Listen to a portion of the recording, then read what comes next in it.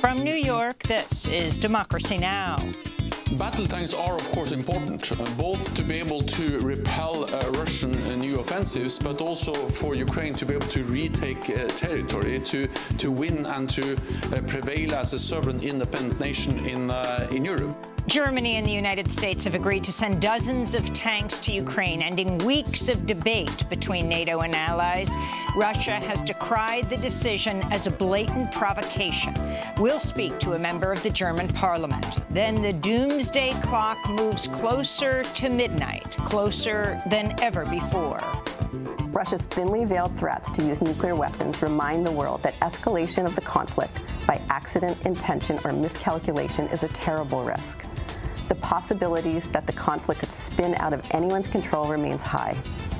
Plus, we'll go to Florida, where racial justice advocates and educators are vowing to fight Florida Governor Ron DeSantis after the state banned an advanced placement African-American studies class for high school students, claiming it lacks educational value because it mentions black queer studies, intersectionality, and Black Lives Matter. All that and more coming up. Welcome to Democracy Now!, democracynow.org, The War and Peace Report. I'm Amy Goodman. Germany's announced it plans to send at least 14 Leopard 2 tanks to Ukraine after months of pleas from Kyiv. Germany also said it would soon allow other European countries to send their own Leopard tanks. The U.S. is also expected to announce today it will deliver Abrams tanks to Ukraine, though that process could take months. The heavy tanks could prove to be a major turning point in Ukraine's fight against Russia, which is approaching its one-year mark next month. Moscow's warned such a move would be seen as a direct provocation. We'll have more on this story after the headlines. In other news from Ukraine, the government of President Volodymyr Zelensky has fired a number of top officials as part of a growing corruption scandal, which includes reports that the military paid inflated food prices. Turkey's postponed scheduled talks on Sweden and Finland's bids to join NATO amidst mounting tensions with Sweden after it allowed a far-right politician to burn a Koran during a protest in front of the Turkish embassy in Stockholm. Finland has said it would consider joining NATO without Sweden in the wake of the dispute. The British government's admitted around 200 asylum-seeking children have gone missing since July 2021, prompting outrage and calls to fix Britain's immigration system. This is Immigration Minister Robert Jenrick. Of the unaccompanied asylum-seeking children still missing, 88% are Albanian nationals. The remaining 12% are from Afghanistan, Egypt, India, Vietnam, Pakistan and Turkey.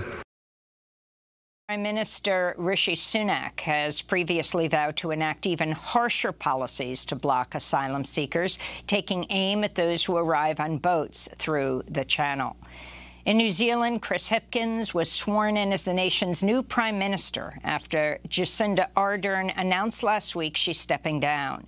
Hipkins, the architect of New Zealand's pandemic response, will lead the ruling Labour Party into October's election. Carmel Sepuloni was also sworn in as new deputy prime minister, becoming the first official of Pacific Islander heritage to hold the office. Sepuloni is of Samoan, Tongan and European descent.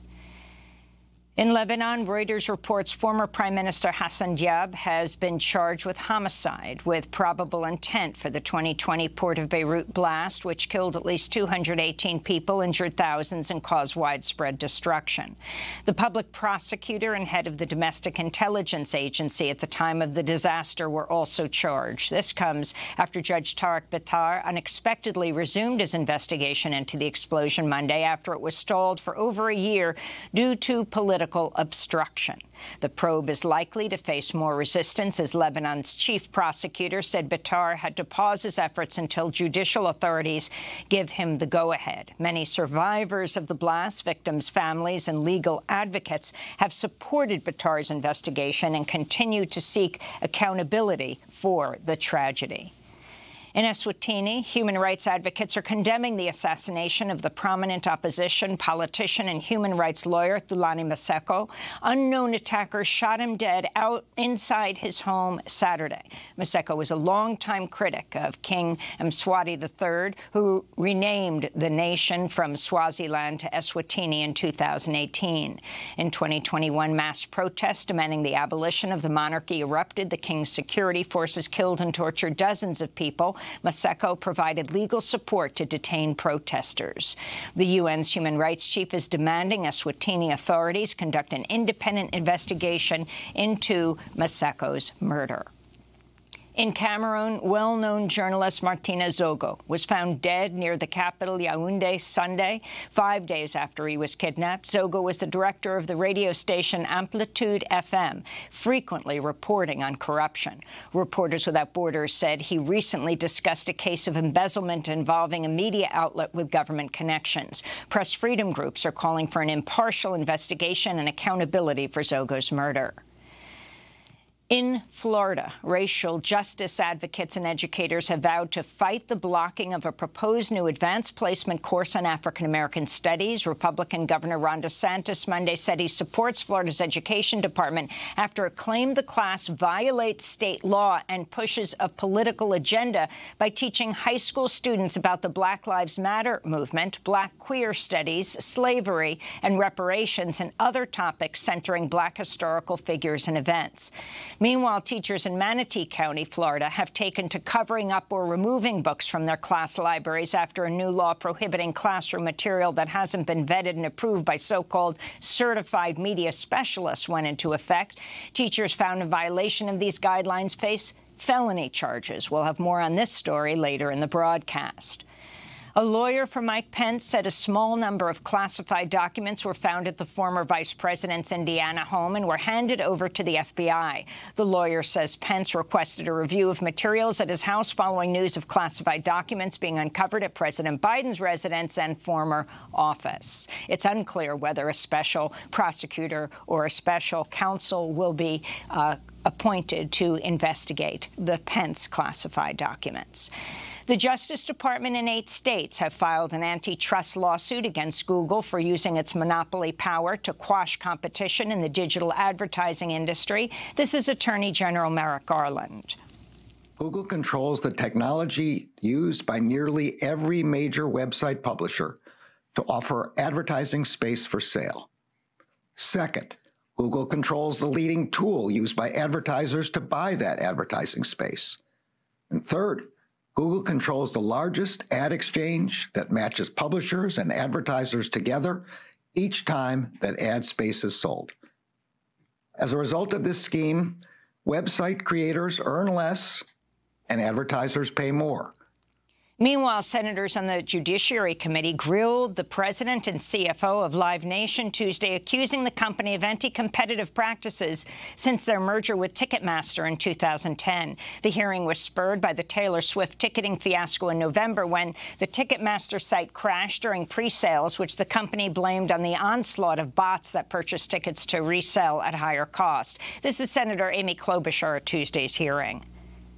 Today, Live Nation doesn't just dominate the ticketing. It's about 70% of the big concert market, but also they own many of the major venues. And for the venues that they don't own, they tend to lock in on three, five, seven-year agreements, which means that the competitors that are out there aren't able to even compete when it comes to the ticketing. Finally, they dominate the um, promoting. This is all a definition of monopoly because Live Nation is so powerful that it doesn't even need to exert pressure. It doesn't need to threaten because people just fall in line. The FDA proposed new legal limits on the amount of lead permitted in baby food for babies and toddlers. The agency estimates the new levels could reduce dietary exposure to lead by about 25 percent. Researchers say even low exposure can lead to learning disabilities and other health impacts. Many critics said that the limits are not good enough. Walmart is raising its minimum wage from 12 to $14 an hour. Labor advocates have long called for a minimum wage of at least $15. Walmart CEO Doug McMillon earned $25.7 million in 2022. And the journalist, author, and former publisher of The Nation, Victor Navasky, has died at the age of 90. Victor Navasky became editor of The Nation in 1978, was its publisher emeritus until his death this week in New York. In 1980, his book Naming Names was published, chronicling Hollywood's era of blacklisting. Navasky spoke in 2009 at an event at Google. The Nation was founded by people in and around the abolitionist movement, and the abolitionist movement turned out to be ahead of its time. The nation has been, as Katrina said, a fighter for equal rights, human rights, civil rights, civil liberties. During the years of the bleakest years of a segregationist country, the nation was ahead of its time. Victor Navasky, who died Monday at the age of 90. He's survived by his wife, three children, and five grandchildren. And those are some of the headlines. This is Democracy Now!, democracynow.org, The War and Peace Report. I'm Amy Goodman in New York, joined by Democracy Now! co-host Juan Gonzalez in Chicago. Hi, Juan. Hi, Amy, and welcome to all of our listeners and viewers across the country and uh, around the world. Germany's officially announced it'll send 14 German-made Leopard 2 battle tanks to Ukraine and allow other NATO allies to send more German tanks to help Kyiv in its fight against Russia. Germany made the announcement after the United States reportedly agreed to also send 30 M1 Abrams tanks to Ukraine. In a statement, German Chancellor Olaf Scholz said, quote, this decision follows our well-known line of supporting Ukraine to the best of our ability. We're acting in a closely coordinated manner internationally, he said. Germany will also provide training and ammunition for the tanks. Scholz had faced intense pressure in recent weeks from Poland, the United States, and other European nations to approve the tanks, despite concern by many in Germany that it could lead to an escalation of the war in Ukraine and retaliation by Russia. The head of the left party in Germany's parliament warned the move, quote, potentially takes us closer to a third world war than in the direction of peace in Europe. Supporters of the decision include NATO Secretary General Jens Stoltenberg, who has repeatedly urged NATO members to speed up deliveries of heavy weapons to Ukraine. The only way to lasting peace is to make it clear to Putin that he will not win on the battlefield. Therefore, we must provide heavier and more advanced systems so, so, that Ukrainian forces are able to repel the Russian forces, not only to survive, but to win, take back territory and prevail as a sovereign independent state in Europe. We're joined now by a member of Germany's parliament, Sevim Dağdelen, a member of the opposition Left Party, elected to the German parliament in 2005 and a member of the Foreign Affairs Committee. She's also a member of the NATO Parliamentary Assembly. She's joining us from Havana, Cuba, where she's visiting as part of a delegation organized by the Progressive International. Welcome to Democracy Now! It's great to have you with us. For people in the United States, they might particularly not understand what this controversy is about for some people. Can you talk about um, what the decision means today, the announcement, to send these Leopard tanks to Ukraine, but also allow other countries like Poland who have these tanks and in Scandinavia uh, to be able to send them to Poland as well, getting them originally from Germany? Well, hello, Amy, and thanks for having me. Uh, the, this decision, uh, sending battle tanks to Ukraine from Germany and um, giving the decision uh, that Poland and others can uh, send Leopard 2 German tanks to Ukraine is a historic wrong decision. And it comes only because of the pressure, the heavy pressure of the United States Biden administration, we have to say. Several months ago, Chancellor Scholz in the German parliament, in the Foreign Affairs Committee, said it is a red line. It's a line of escalation, sending battle tanks from Germany to Ukraine that would cross a red line. But the pressure now was too heavy, too strong from the Biden administration to send Germany in the front line of this war. And it was the pressure of the coalition partners, the Greens and the Liberals. They are actually the neocons in this coalition in Germany. They uh, officially said that they would breach the coalition if these battle tanks, Leopard 2, wouldn't be sent by Chancellor Scholz to Ukraine. And that was the problem.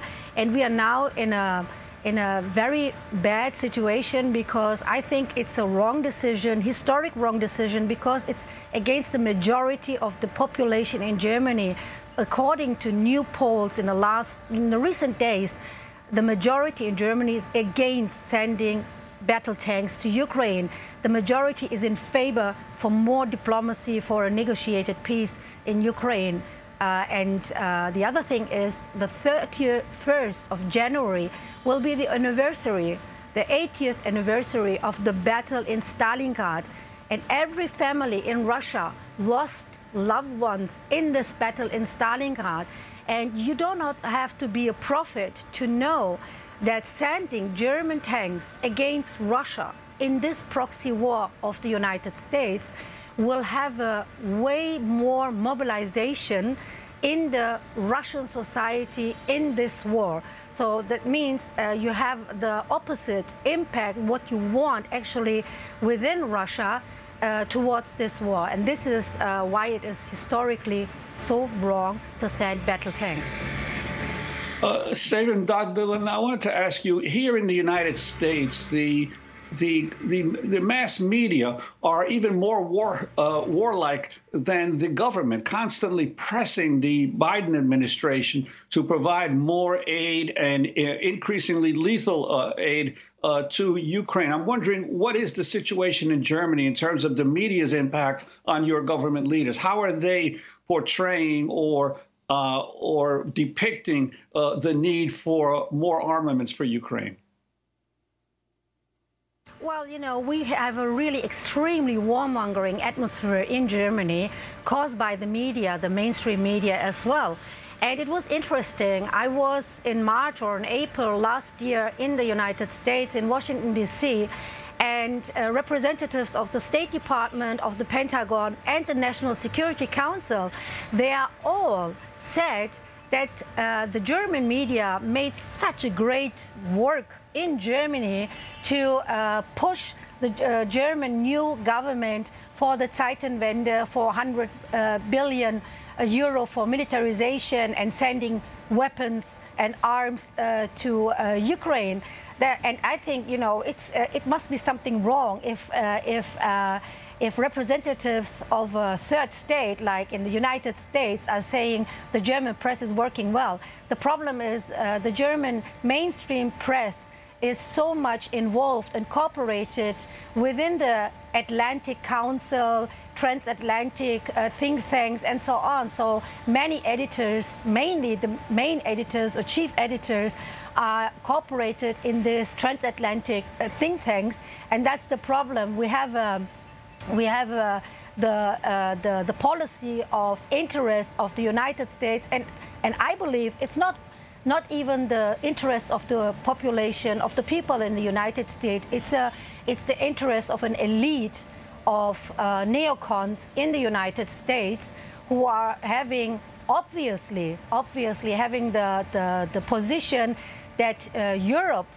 is uh, like Latin America for the United States in the 70s, and a, a continent where you can do uh, what you favor is uh, what you please, and uh, and that's a, really a problem. And uh, obviously, it is a good business to have a war in Europe for the U.S. fracking industry and for the military-industrial complex in the United States. And this is also uh, a concrete example with sending tanks to Ukraine. Sending tanks to uh, from Germany and the German tanks, the Leopard 2, is also in the interest of the United States military-industrial complex because there this is uh, if they get lost their Leopard 2 tanks, the modern, the most modern weapon system in Europe we do have in tanks uh, system, uh, then they can supply their own tanks.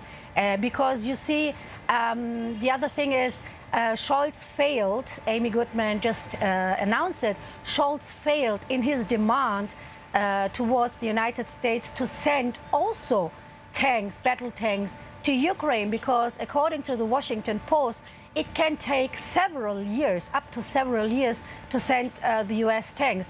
So they're pushing us, uh, the Germans, into this fire, into the front line of this fire, uh, especially uh, regarding their own interests, uh, supplying their own military uh, um, industrial products, and to have the situation that German uh, Germany and Russia for good have no relations at all. I mean, that was in the past uh, when you see uh, the, the books of Brzezinski and so on, uh, of uh, many uh, think tankers in the United States, it was always um, an aim by the United States elites to destroy the relationship between Germany and Russia. And this is my concern because Yesterday, uh, last night, uh, uh, already the Green Foreign Minister in Germany, Annalena Baerbock, started to say officially, we are fighting a war against Russia, she says. That means we are in a war already against Russia, and that concerns me a lot, and it concerns me a lot also that many uh, so-called progressive in the United States are supporting uh, this line by the Biden administration to push Germany uh, more and more into this uh, proxy war and um, yeah, taking, taking uh, the risk uh, that it can have an extension to the Third World War. And the and problem want, is you, you having mentioned... Third World War in a continent like Europe will not affect you in the United States, 8,000 kilometers away from Europe. It will affect our people in Europe. Uh, you mentioned also uh, the fracking industry and this proxy war.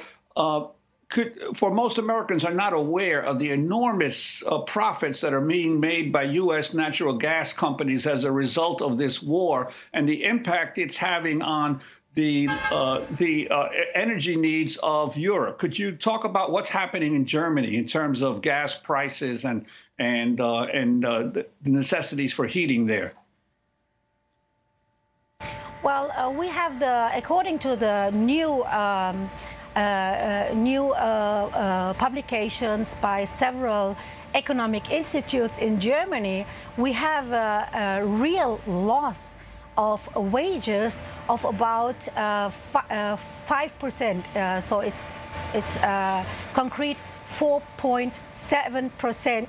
percent. it's the biggest loss in real wages, in the biggest loss in the history of the Federal Republic of Germany since 1945. people cannot afford to pay their rents to pay the gas prices, the energy prices, the petrol, and uh, they can afford uh, even uh, the, uh, the, to, to, to pay uh, for food. Uh, that's the problem. Two million people, the first time in history in Germany last year, they had to go to the public food services to get food. and in this, in the, one of the most economic powerful countries in the world, so we have a really loss uh, in the majority of the population. And on the other side, we have a huge profit uh, on the side of the companies, 100, uh, more than 100 uh, uh, uh, billion Uh, profit they made uh, by the uh, industry of energy and oil companies and uh, all the big uh, uh, companies as well. And the fracking industry from, from the US is a big profiteer of this crisis as well, of these sanctions. You know, it is all caused by the sanctions against Russia, these energy sanctions, and it doesn't harm Russia. The Russian uh, Gazprom uh, firm, the company, made uh, in the first half of 2022 more than 40 billion just profit just profiting. And uh, the same at the end of the year. So they are profiting from this war. The only uh, one who is suffering is the population in Europe. Uh, because of the sanctions, because these sanctions are turning into an economical war against our own population. And uh, the fracking industry from the United States, they are sending now tanks of their uh, of their dirty uh, gas uh, from the United States, which is against the climate as well. And uh, and the thing is, one tank they can get profit um, up to 200 million or uh, 300 million euro. There is no limit at all because just on the way from the United States to Europe, uh, the prices can uh, rise. So uh, they are making a lot of uh, a lot of profit because the need for Germany for this gas is approximately that you you would need more than 1,100 tanks per year uh, and uh, I can't see uh, that we can afford this to pay to, to the United States in comparison to the cheap and more less dirty uh, gas uh, from Russia. Sevim That's a really huge problem for the German population. I want to ask you about Germany's new defense minister, Boris Pistorius' comments just before we went to air. This is what he said.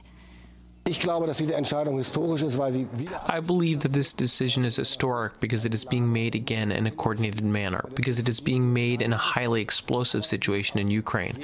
And that is why the decision deserves respect.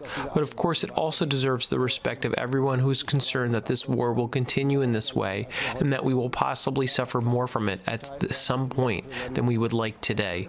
But one thing is clear we will not become a party to the war. We will make sure of that if you can respond to what the new defense minister said, right? Um, the previous uh, defense minister, uh, um, Lambrecht, uh, she was ultimately forced to resign. Um, and if you can talk about this controversy and also respond to the division of progressives from the United States to Germany, those that say do not feed the military-industrial complex, and those that say if Ukraine doesn't get get these heavy weapons, Russia will succeed in taking more land? Well, uh, I really have to warn all these uh, illusionists, all these people who are fantasizing about a victory against Russia. They are underestimating Russia like Napoleon and Hitler did in the past. And it's a, you know, it's a nuclear, the most powerful nuclear power in the world. And it, there is no way to win uh, a war, a conventional war against such a nuclear power. And, uh, and this, is the, this is the dangerous part of uh, this discussion. Uh, that on the one hand side, they all are saying that uh, President Putin from Russia is insane and he's crazy and he's a monster and whatever, and they trying to demonize him like they did in the past with uh, Saddam Hussein uh, or Gaddafi or anyone else uh, they wanted uh, to uh, put down. And uh, the thing is, they say he's crazy. But on the other side, they say, well, it's a bluff. We don't think that Putin is so irrational to use nuclear weapons. I mean, come on, we cannot uh, seriously debate of using nuclear weapons because if they will be used once, it's the end of the human civilization, uh, at least in Europe, maybe not in the United States, but in Europe, uh, definitely. And uh, that makes me really worry about it, this, this, uh, this uh, debate. And the other thing is the former minister, Ministry of Defense in Germany, Christine Lambrecht, she was so much under pressure from the neocons in Germany, the Greens, the liberals, and the mass media, they uh, put her a lot of under pressure to resign because they wanted to replace her with a more transatlantic warmonger than she was for, uh, for them. She was not enough warmongering. And Pistorius was a surprisingly decision made by Chancellor Scholz but unfortunately, he is disappointing as well because he's not acting according to the will of the majority of the population in Germany, but says more diplomacy for a negotiated peace. Uh, rather than sending battle tanks, he is now saying, well, we're sending battle tanks uh, in, in, in cooperation with our allies. And I have to say, very frankly, the United States has no allies. The United States is just interested in their own interests and they are just interested in vessels. And that's the point. Poland and, and so on, all the, uh, all the other uh, uh, countries who were pushing Germany and Chancellor Scholz to say yes to the Leopard 2 tanks, they are also doing exactly that what the United States want from them. That's the thing. The United States pushing them into the front and saying them, please do this, and then they're putting the pressure and um, creating an atmosphere of pressure to the German uh, government because of the German history. Two times the two world wars started from Germany with the attacks against Russia or respectively Soviet Union. And now we are sending again tanks against Russia, against Moscow. And uh, our new foreign minister, I mean, she actually says that uh, Pistorius is wrong because she actually said last night, we are in a war against Russia. She said that literally. So that means uh, I, um, I am very uh, concerned that this is not the last decision taken by because the sending the uh, Leopard 2 tanks, they are not a game changer in the long term or in the medium term, they will not change anything on the, on the ground in Ukraine because Russia will react.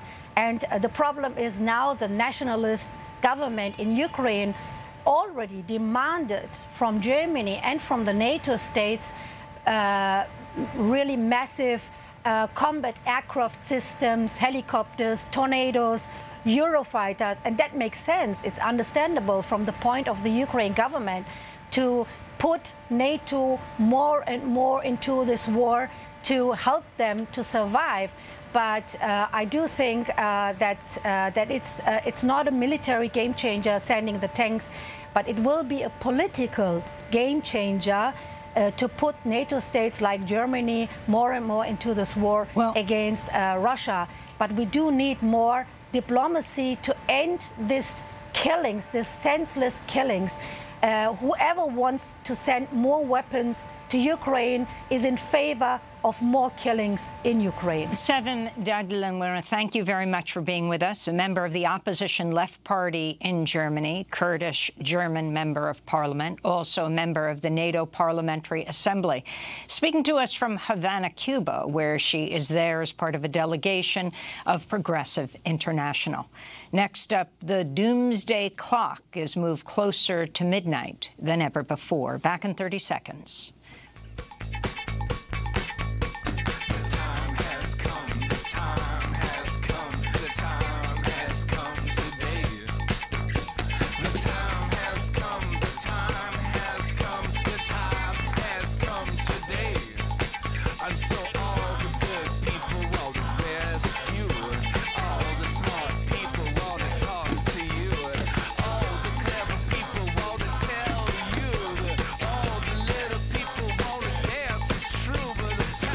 Versus Them by LCD Soundsystem. This is Democracy Now!, democracynow.org, The War and Peace Report. I'm Amy Goodman with Juan Gonzalez. The Bulletin of the Atomic Scientists is warning the world is closer to global annihilation than ever before, in part due to Russia's invasion of Ukraine. Since 1947, the Bulletin has maintained a doomsday clock to illustrate how close humanity is to the end of the world due to existential threats, including nuclear war and the climate emergency. On Tuesday, the Bulletin reset the doomsday clock for 2023 the members of the Science and Security Board moved the hands of the doomsday clock forward, largely, though not exclusively, because of the mounting dangers in the war in Ukraine. We moved the clock forward the closest it has ever been to midnight. It is now 90 seconds to midnight. After the doomsday clock was reset to just 90 seconds to midnight, Rachel Bronson of the Bulletin Atomic Scientist spoke. Russia's thinly veiled threats to use nuclear weapons remind the world that escalation of the conflict by accident, intention, or miscalculation is a terrible risk. The possibilities that the conflict could spin out of anyone's control remains high. We're joined now by Frida Berrigan, longtime peace activist and nuclear weapons abolitionist. Her new cover story for In These Times is headlined, How to Avoid Nuclear Standoffs That Threaten the Entire World. She's the daughter of, Free, of uh, Liz McAlister and Phil Berrigan and the niece of the late father, Dan Berrigan. Frida Berrigan, thanks so much for being with us. Talk about the doomsday clock. Sure. The doomsday clock was developed uh, as a as a metaphor uh, by the Bulletin of the Atomic Scientists in the late 1940s. Um, it's moved uh, a, a, number of times, maybe uh, 30, 40 times uh, in the last uh, 70 years. Um, this, as you have said, is the closest it's ever been to nuclear midnight, just a minute and a half, 90 seconds. Um, and what's striking about this is that, you know, we think about other hot moments uh, in the nuclear age, uh, the Cuban Missile Crisis, for example. Uh, the clock stood at seven minutes uh, to nuclear midnight at that hot point when, uh, you know, people here in this country, people around the world really believed that a nuclear conflagration was imminent. And so I think comparing it to the Cuban Missile Crisis is a good metric for understanding just how dangerous this moment is with the confluence uh, not only of the war in Ukraine, uh, but uh, the pro- proliferation of nuclear weapons throughout the world um, and the climate crisis all coming together. And the, the doomsday clock kind of uh, takes those three, um, takes its measures from those three uh, intertwined crises. Um, so I, am glad this is getting uh, more attention. Uh, the doomsday clock is not always front page news, although it ought to be.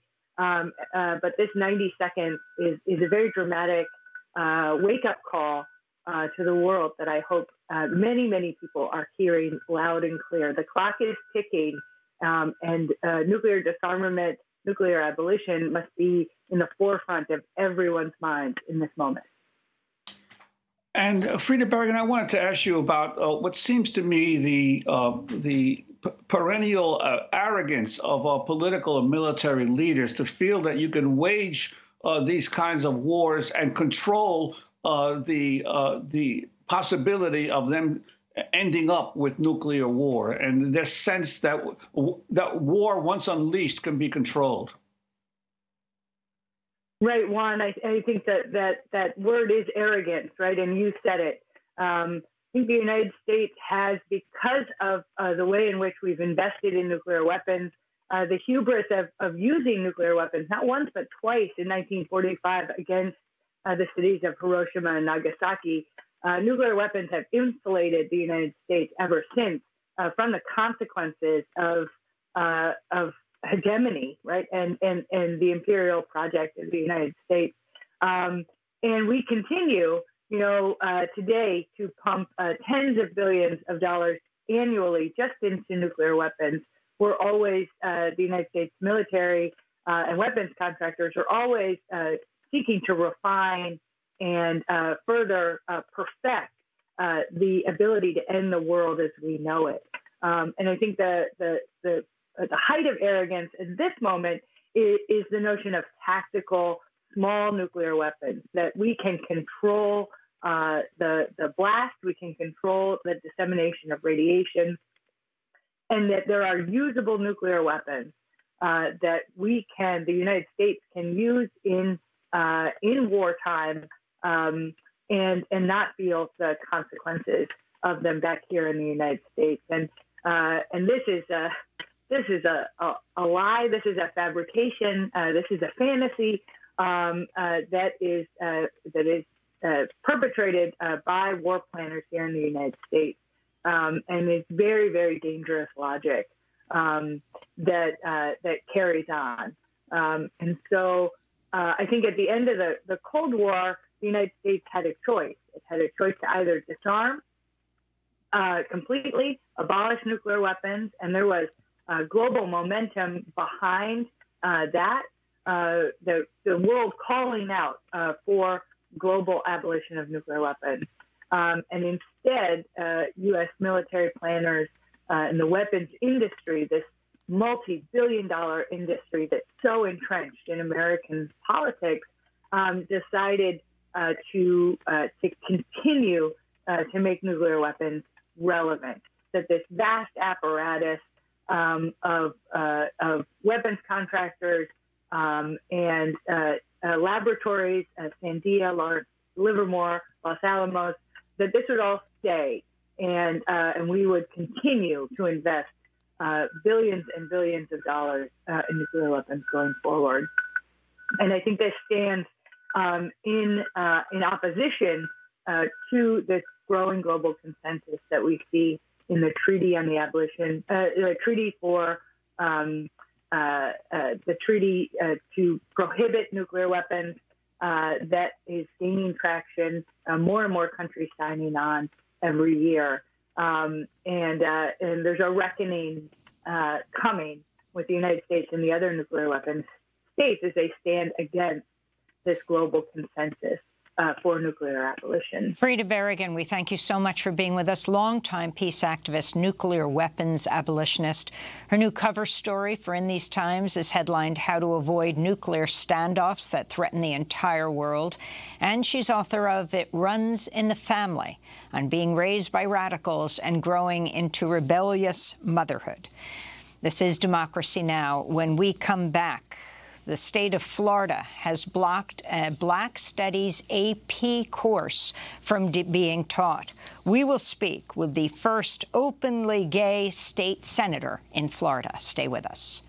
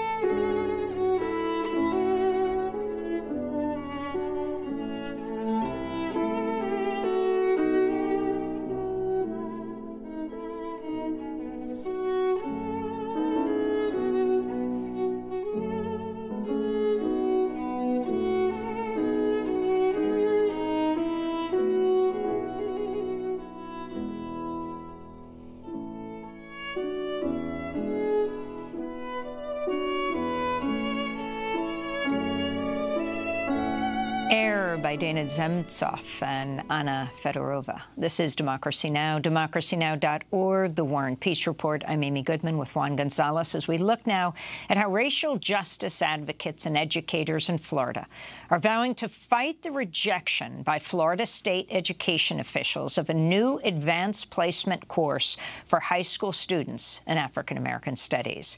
Florida's Education Department said the course lacks educational value, reportedly raised concern about six points in the curriculum. Black queer studies, intersectionality, movement for black lives, black feminist literary thought, the reparations movement, and black struggle in the 21st century. On Monday, the Republican governor, Ron DeSantis, and possible presidential aspirant, said he supports the Florida Education Department's rejection of the course and claimed it violates state law. This course on black history, what are one what's one of the lessons about? Queer theory. Now, who would say that an important part of black history is queer theory? That is somebody pushing an agenda on our kids. And so when you look to see they have stuff about intersectionality, abolishing prisons, that's a political agenda. Later today, civil rights lawyer Ben Crump will announce a lawsuit against Florida over its rejection of an advanced placement African American studies pilot program that we're talking about today. He'll be joined by by three AP honor students who will serve as the lead plaintiffs and by one of our guests who joins us now from Florida in Tallahassee, the capital of Florida. Shevrin Jones is Democratic Florida State Senator, Bahamian American, and Florida's first openly gay state senator. And in Miami, we're joined by Dr. Steve Gallon, president of the Miami Alliance of Black Schools Educators and an elected school board member for Miami-Dade County Schools, a lifelong educator and former school teacher, principal, and superintendent. We welcome you both to Democracy Now! State Senator Shevrin Jones Jones, your response to the state blocking this national AP Black Studies course. Uh, well, first, thank you for having me. Uh, I think it's important for us to point out uh, that this is far greater than just talking about AP classes right now. What we're talking about is the history of Black America. We're talking about the plight of Black America. And we also should make, make, sure, make sure that we point out that when we look at what Governor DeSantis and the Republicans are doing, this is just not a Florida thing. This is something that we need to ensure that does not happen and spread across this country. As I have made it clear, and I will continue to say it, that our history does bring educa- educational value. We are of value. We are of, uh, of substance to this to this country and of this state. And what the governor is doing in moving forward and blocking students from being able to not just learn about history, to understand other people's history, it is not only wrong, it's disingenuous to the 22 million people within this state and the 20% of African Americans who live amongst the 22 million people within the state of Florida. And Senator, it's uh, obviously not just the governor. The Education Commissioner, Manny Diaz Jr., called, quote, woke indoctrination masquerading as education. Uh, could you talk about the uh, why you feel this uh, movement from the most extreme elements of the Republican leadership in Florida is occurring now? I think it's important to understand that these buzzwords of indoctrination, wokeism, all of these things that uh, the governor and the Republicans, not just here in Florida, but across the country, uh, are saying actually have meaning. Uh, the word woke was used in the 1930s, that was used by activists, uh, by leaders to inform black Americans uh, to be cognizant of policies that were coming down um, from elected officials. And now that's being turned, uh, and now they are trying to indoctrinate children to say that that's wrong. Since when have we come to a place to where uh, we are banning books and telling children uh, what's appropriate, what they can and they cannot learn? That's not wokeism. That's not indoctrination. That's facts. Uh, that's how I've learned. That's how you learn. Uh, that's how the American people have learned over the years. We've learned about Jewish history. We've learned about European history. Now, all of a sudden, African American history uh, is the problem? No. It's about what is happening across this country and what's being spread across this country for a time that we we have fought so hard. My ancestors have fought so hard for to get us to this point, to get us out of the, the place where we were, uh, where we were, to where we are now. Can you respond specifically, uh, State Senator Shevrin Jones, to uh, DeSantis questioning what does black queer history have to do with AP Black Studies? And in your response, if you can talk about, oh, everyone um, um, from Bayard Rustin uh, to James Baldwin. And what this means to you is the first openly gay state senator elected in Florida. The list can continue to go on. We can say James Baldwin. We can talk about Marsha P. Johnson. Let's continue. Let's continue to call those names. That's America's story. That's who we are. I'm America's story, and somebody else will come and be America's story. Why are we taking that away from children? And, and, and, and, and here's what we cannot allow the governor's office or anyone to get past, and that is the fact that they said what they said. They said that African American studies brought no educational value to children in our education system. That means that we have the potential for black children in the state of Florida to learn and not be represented in their education. And as a black man, as the first openly gay black man here within the state of Florida, I know what my history is. But there's a young man, there's a young woman sitting in a classroom who needs to know a Marsha P. Johnson, who needs to know a James Baldwin, who must understand that their story has been told before. They made it, they can make it, and others will continue to make it as we continue to live in this place we call America. I'd like to bring in uh, Dr. Steve Gallon to the conversation. Uh, could, your reaction uh, to the um, uh, to the decision uh, uh, and the and the support of the governor for against this AP course, and also what's been the reaction on the Miami-Dade school board that you serve? Yes. Um, good morning again. Thank you for having me. my initial reaction was that the position that was messaged was counter to Florida law. Florida law explicitly stipulates that black history shall be taught to students throughout the state. It doesn't say may, it doesn't say can, it says shall. So to the extent that there was a denial of access to this information to a segment of students that may be interested and desirous of pursuing advanced placement courses, which obviously has a significant economic impact to them in their trajectory for higher education, I was somewhat taken aback. I too shared the sentiment relative to the message that came out, significantly lacks educational value. Uh, I think that resurrected a great sense of rancor amongst not only African Americans, but people uh, throughout the state and, quite frankly, as you could see, throughout the country. And as I've represented, although we represent approximately 22% of the population of the state of Florida, uh, African American history is not something that's simply contiguous to black students. African American history should be contiguous and accessible to all students because I contend that knowledge is the bridge to understanding. So if we're going to deny that bridge, deny students an opportunity to cross that bridge to better understand their fellow students, their fellow neighbors, their citizens. I think that is taking us back. And again, I think the rancor around this particular issue has opened up significant wounds that have lingered, quite frankly, for over 400 years. And can you talk, uh, Dr. Steve Gallon, as a former superintendent, a former principal, a former teacher, they're talking about actual felony charges against teachers who speak about various issues. Explain what teachers are facing right now. I, I, can't, Amy, imagine what it is like, having been a classroom teacher as well as uh, Senator Jones has been. Uh, classrooms and, quite frankly, public education, I believe, still represents the final frontier for social justice. It represents the epicenter of freedom. And to the extent that teachers are feeling unsafe, they're not feeling comfortable, they're looking over their shoulder, uh, they're walking a fine line between instruction and being able to allow students to express themselves. Uh, there's been a great degree of consternation around that particular issue. I've heard from teachers directly Uh, regarding the fact that the academic freedom principles upon which instruction, pedagogy, and public education have been grounded are being severely compromised. And again, students need to have an opportunity to express themselves, and education can be used as an instrument of freedom or an instrument of conformity. So what we're seeing in some cases is that either you conform or else. And conformity is not something that we want to uh, present to our students, not only in their learning, but in their lives in what we call a democracy on the greatest country that the world has ever known.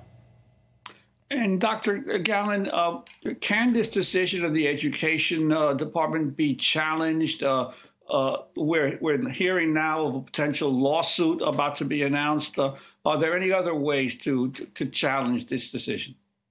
What, what, what, I what I initially anticipated, and again, it's about messaging. Uh, having been a part of bureaucracy for again over 30 years, uh, the process of submission, review, and feedback that is a normal process for one to submit something, to have it reviewed, to have feedback provided, and to have an opportunity to remediate any deficiencies or any gaps that may be perceived by the individual organization that received it. That's normal. I think what came out was the messaging, and that again uh, appeared to be somewhat uh, uh offensive. Not appeared to be, I take that back. It was actually offensive, the language that was used when you're talking about something significantly lacks educational value. What portion of it? So that level of ambiguity, along with that messaging, uh, created the consternation, the rancor, and quite frankly, the harm that many people feel regarding something that uh, we're very, very deeply concerned about. So we did anticipate, hopefully, that there would be an opportunity. I see that starting to take place right now. But it's not about intent, it's about impact. The impact has already been felt.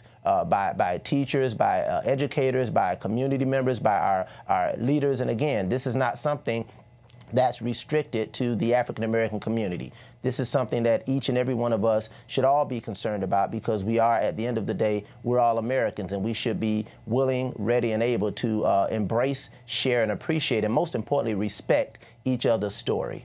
I wanted to play more of Republican Governor Ron DeSantis. This is when he took his culture war on the road a few months ago to stump for Trump-backed candidates and the growing speculation about him running for president in 2024. We must fight the woke in our schools. We must fight the woke in our businesses. We must fight the woke in government agencies. We can never, ever surrender to woke ideology. And I'll tell you this the state of Florida is where woke goes to die. Where woke goes to die. And I wanted to talk about people dying. Florida State Senator Shevrin Jones.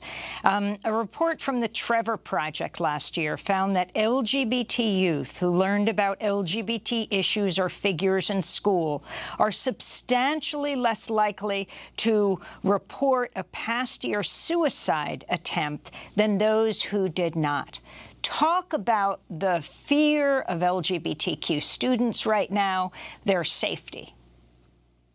Yeah, one in four uh, LGBTQ youth uh, uh, commit suicide, uh, Amy, and it's not because of their uh, because of who they are. It's because of how they are treated.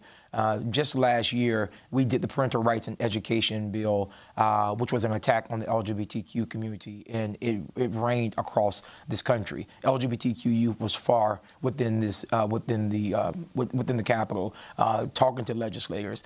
it brings great harm when individuals feel as if they cannot or they're not represented uh, again here within their state uh, individuals they, they feel left out individuals feel as if they're going to lash out uh, and so it's dangerous uh, what we're seeing i think uh, uh, school board member Gallon he, he said it best it is the intersectionality of who we are that makes us who we are but what we are seeing here within the state of florida is the pinning against marginalized community the pinning against lgbtq people the pinning against african americans. Uh, and just you just heard from the governor, uh, this is where woke comes to die, or this is the free state of Florida. But clearly, there's nothing free about what we're experiencing here within the state of Florida. Marginalized people are in bondage every single year legislative session it gets greater and greater because this is the agenda that's being pushed and Senator Jones, uh, this agenda is being pushed uh, not only in Florida, although it's become the uh, the poster state for it, but it's happening across the country.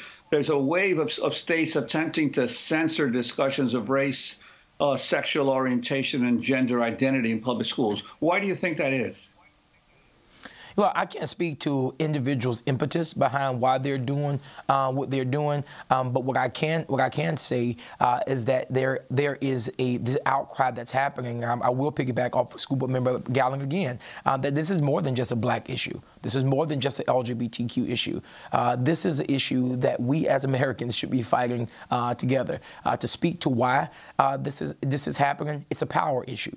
When individuals see the shifting of America the shifting of America causes for individuals to rise up and say, this, this would not be allowed. We want to make sure we do everything to keep the, our, our, finger, our finger on the pulse to make sure that we can control what you learn, we can control what you teach, we can control what you say, and we can control what you do going to be holding a news conference today with Ben Crump. Can you talk about the lawsuit that's being filed and how you want to deal with this as we move into Black History Month?